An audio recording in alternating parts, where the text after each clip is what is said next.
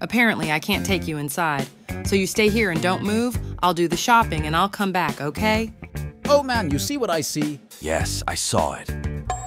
Huh? Whoa, this is a very rare breed. Do you think it's abandoned? Do you want us to go see? I don't know, but we're lucky to have found it anyway. And I always wanted to have one more. Hey, what are you doing? Drop it right away. Oh, sorry, ma'am. We thought he was lost. I swear we didn't want to do anything.